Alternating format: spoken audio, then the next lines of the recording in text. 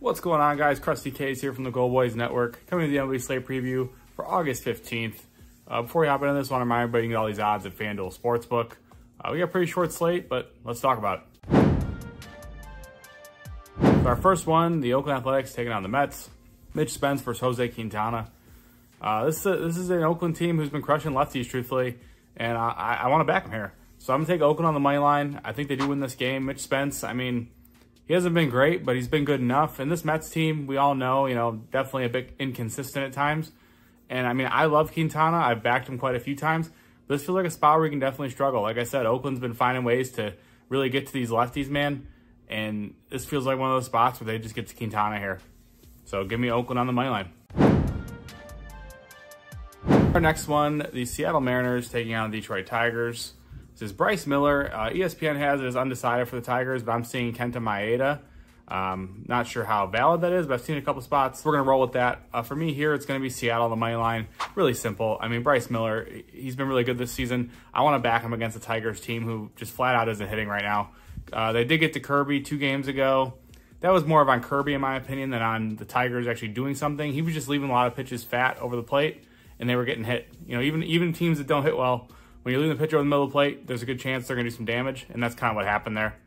Um, so for me, Mariners on my line. Wait, before we get back to the picks, I wanted to thank you all for watching.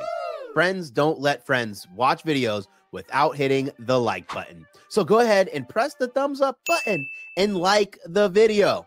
If you're new here and not subscribed, you should go ahead and do so because we're dropping new content each and every day on the GoldBoys Network. We strive to cover every sport and give out picks and analysis and valuable information for free on the GoldBoys Network. So make sure you're subscribed and hit the bell so you can get notified when we drop something new.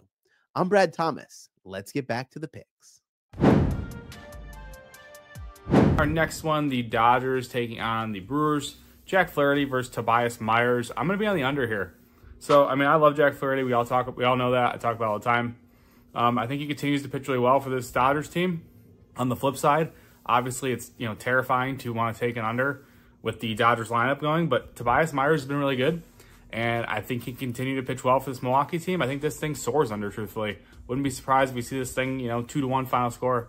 Uh, I uh, really like these pitchers to deal here. Our next one, the Braves take on the Giants. Max Fried versus Logan Webb.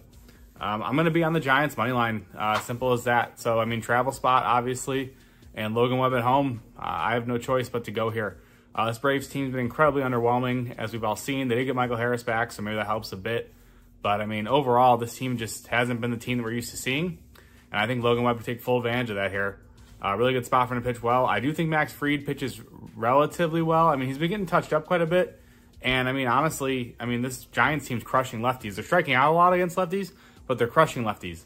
So to see this price at a minus 110 is a little bit surprising, truthfully. I think it's like a respect to who Max Fried, like the one we're accustomed to seeing. And I just don't think he's in that form yet um, since coming back from injury. So give me the Giants on the money line here. Our next one, the Boston Red Sox taking on the Baltimore Orioles. Nick Pivetta versus Zach Eflin. Uh, it's going to be the Orioles here for me, and it's really just because Zach Eflin, man, since joining Boston, abs- or since joining Baltimore, has been absolutely outstanding. I mean, this guy, uh, you know, he he they alter his pitch mix a bit, and he's just gotten like that much better. And I I don't see how he doesn't navigate this Boston lineup. Boston, has, um, they're coming off a game a series against Texas. They do have to go to Baltimore. I mean, not like a crazy travel spot, but travel nonetheless for like a relatively early start. And I just think Eflin pitches well. Pivetta, he's a guy we all know has pretty good strikeout stuff but he's going to give up a lot of hard contact. And this Baltimore team at home, we all know they rake. They're crushing righties. Uh, this is a spot for their bats to really get it going. And I think they cruise to a win here, giving Baltimore on the money line. Hey guys, I just want to give a quick reminder that new users can bet $5 at FanDuel on any of the bets in this video and win $150 in bonus bets if the bet wins. Now let's get back to the bets. Our next one, the Nationals taking on the Phillies. Mitchell Parker versus Zack Wheeler. I hate to just say Phillies minus one and a half, but I mean, that's really where I want to go. Uh, just backing Zack Wheeler at home to handle this Washington lineup, who, in my opinion, is just not good.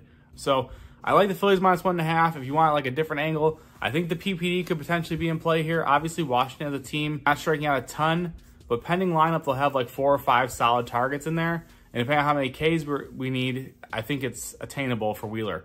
So I like the Phillies minus one and a half or a PPD potentially, depending on what his line's set at. Our next one and the last one on this slate, like I said, short slate, Bailey Ober versus Cody Bradford. This is the Twins taking on the Rangers.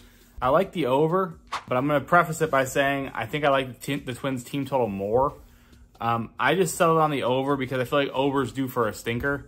Uh, this guy's been really good, I mean, I'm, and I just I have a hard time believing it.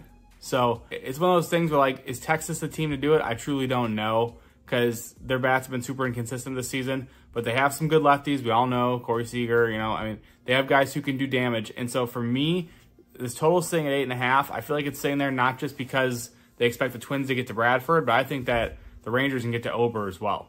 So give me the over here. That does conclude the slate, though. Super, super short video this time. Uh, but, you know, got you guys all the picks. Hopefully we cash a whole bunch. Before we hop off, I'll give you my top three on the short slate. Um, let's roll with the under in the Dodgers Brewers, the Athletics money line, and the Orioles money line. Those are my top three. As always, you can get all my official plays at GoldBoys.com. If you have a gambling problem, don't want to hurt a gambler. Thank you guys.